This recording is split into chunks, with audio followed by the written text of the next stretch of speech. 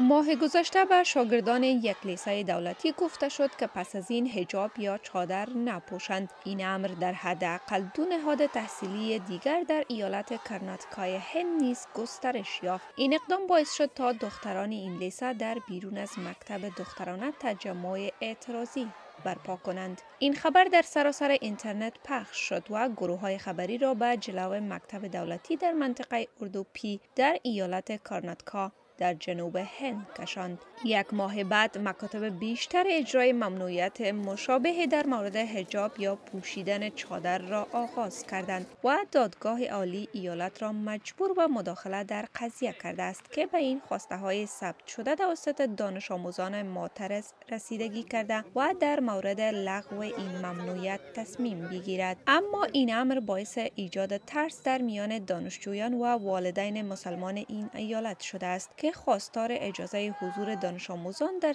های درسی با پوشیدن حجاب شدند. وقت هند به ما حق پیروی از دینمان را می دهد و قانون اساسی خود این حق را می دهد پس چرا آنها ما را از عملی کردن آن باز می دارند؟ بزرگان و خواهران بزرگ خانواده ما نیز چنین تجربه را داشتن و با پوشیدن هجاب تحصیل کردند.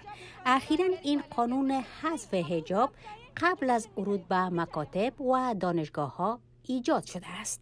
ما می خواهیم هم تحصیل کنیم و هم ایجابمان را داشته باشیم.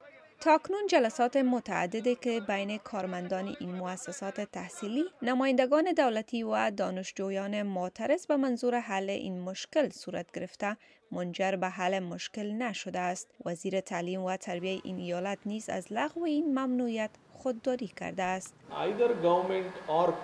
مدیریت در مورد این طرز العمل سختگیرانه عمل می کند. بنابراین مدیریت به من گفته است که این پالیسی را یکسان و خیلی جدی اجرا کنم. برای بسیاری از زنان مسلمان حجاب بخشی از اعتقادات اسلامی آنهاست برای چندین دهه در برخی از کشورهای غربی با ویژه در فرانسه که در سال 2004 استفاده آن را در مکاتب دولتی ممنوع کرد مناقشه برانگیز بوده است. اما در هند جایی که مسلمانان تقریبا 14 درصد از جمعیت نزدیک به 1.4 میلیارد نفر را تشکیل می دهند نه ممنوع است و نه در مکانهای عمومی محدود شده است. در واقع زنان با حجاب یک منظره رایج در هند است و برای بسیاری از آنها نماد از هویت مذهبی و انتخاب شخصی آنها می باشد فرخنده پیمانی تلویزیون آشنا صدای امریکا واشنگتن.